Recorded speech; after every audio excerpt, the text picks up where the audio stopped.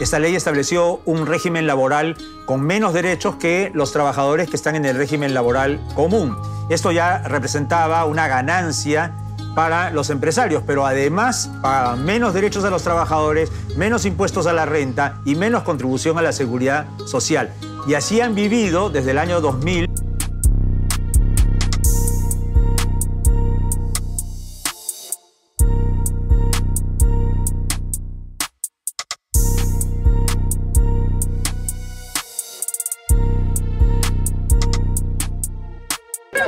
Ahí está. ¿Qué más pruebas? ¿Qué más pruebas? ¿Por qué? ¿Qué más pruebas? ¿Por qué?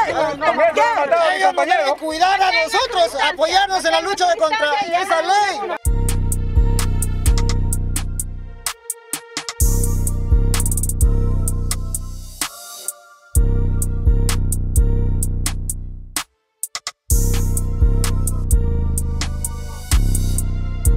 Anuncio públicamente la vida de mis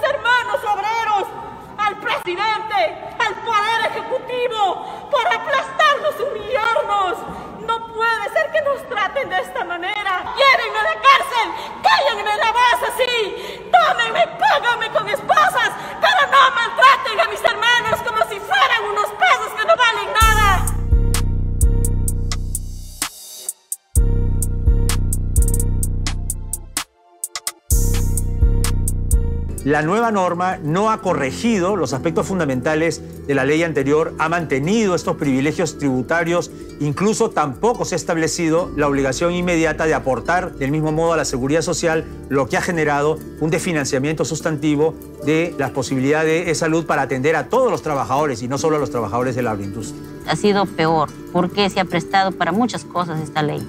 El no respeto a la libertad sindical o libertad a la negociación colectiva.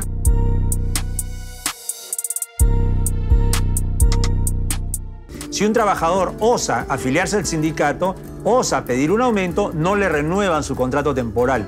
Y esa es la razón por la que casi no hay sindicatos y esa es la razón por la cual esos trabajadores ganan tan poco dinero. El sueldo hoy en día es de 930 mensuales. Más bien salió a decir la señora Fujimorista, de hecho, Marta Chávez, los 930 soles que nos pagan mensual es demasiado, que deberían más bien pagarnos menos, que es mucho lo que nos pagan. Nosotros pedimos un salario justo, pedimos un trato justo y que se le reconozca a los trabajadores su trabajo, su esfuerzo, algo que no está sucediendo. Muchas personas nos dicen, pues, entonces si no te alcanza, ¿por qué estás ahí? Pues lastimosamente porque nos toca estar ahí porque no hay otro ingreso, no hay otro trabajo.